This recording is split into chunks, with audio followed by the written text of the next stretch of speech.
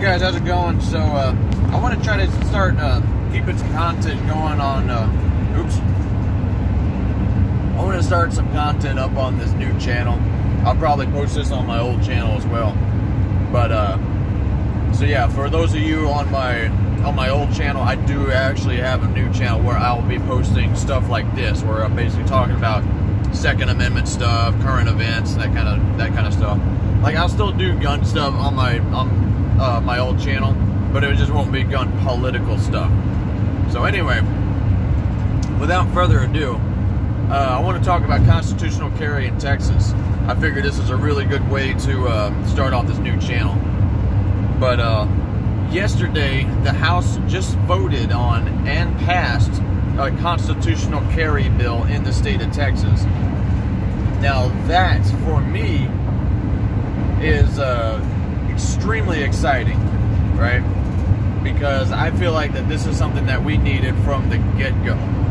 Um, it was it was a shame that Texas is known as the the gun state, but we still had to we still had to you know pay to beg our state to let us carry a, a handgun. You know, it was just it was kind of a what's the word? I guess hypocritical or ridiculous. It's like an oxymoron, but anyway.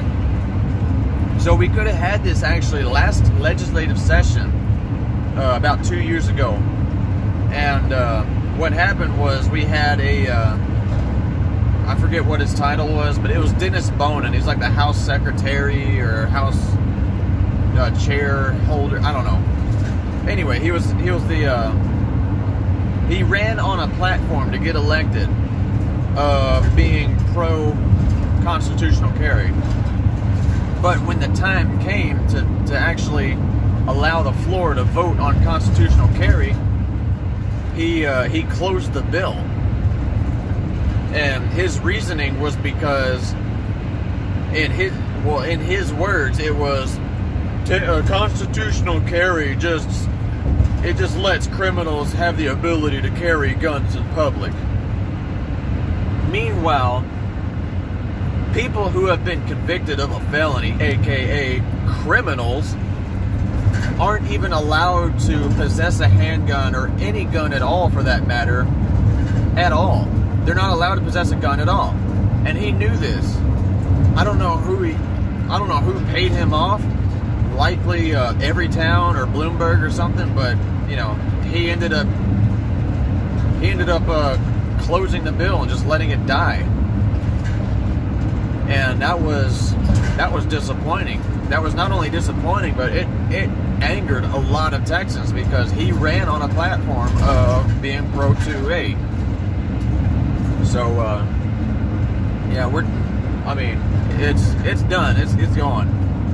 So the House just passed constitutional carry yesterday. So uh, if any of you keep up with your state representatives, it's time to get on the, the phone with your state senators. Let them know calmly, uh, respectfully, that, hey, we'd like to see constitutional carry passed. So, uh, if any of you contact your state representatives, it's time to move on to the Senate. Uh, chances are that it will get passed in the Senate because we have a Republican majority in the Senate, but you never know.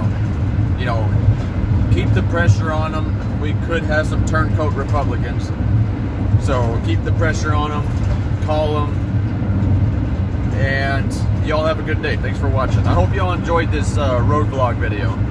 Uh, this this might be something I start doing more and more often, just because I spend a lot of time on the road these days. But uh, anyway, y'all take it easy.